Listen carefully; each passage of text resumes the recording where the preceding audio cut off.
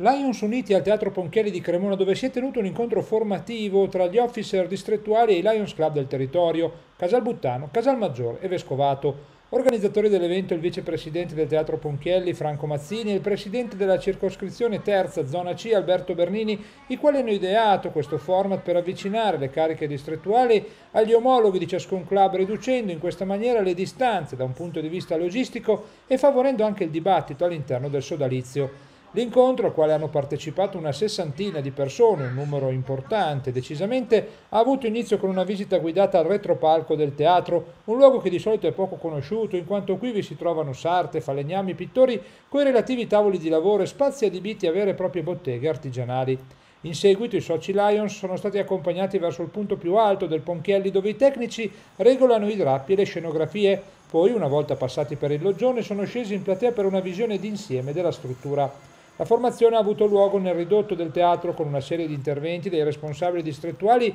in merito agli argomenti principali che riguardano ciascun club, service, membership e leadership, in particolare col ruolo degli officer sottolineato e le loro funzioni all'interno di ciascun club. La serata si è poi conclusa con un rinfresco che ha consentito ai partecipanti di scambiarsi idee sugli argomenti trattati durante la formazione stessa.